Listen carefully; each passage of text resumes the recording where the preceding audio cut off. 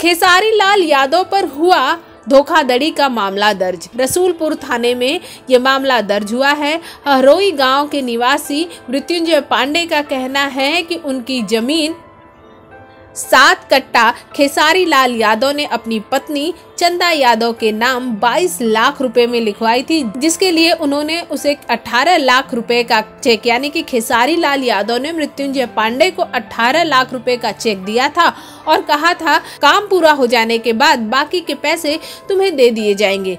अब यहाँ पे मामला क्या है, हम आपको बता देते हैं। 18 लाख रुपए का चेक ले जाकर मृत्युंजय पांडे जब बैंक में जमा कराते हैं, फिर वो कुछ दिनों बाद वापस बैंक जाते हैं और फिर बैंक में वो चेक जमा करते हैं, लेकिन फिर वो चेक उन्हें रिटर्न कर दिया जाता है।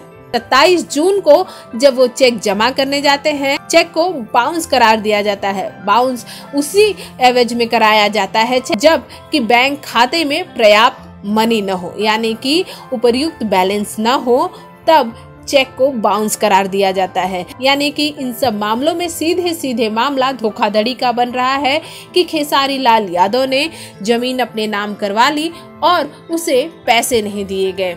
आपको बता दें कि खेसारी लाल यादव ने ये कहा है, इस पर प्रतिक्रिया भी दी है। उनका कहना है कि वो व्यक्ति धोखे से अपने भाई की ज़मीन बेच रहा था, इसलिए उसे पैसे नहीं दिए गए।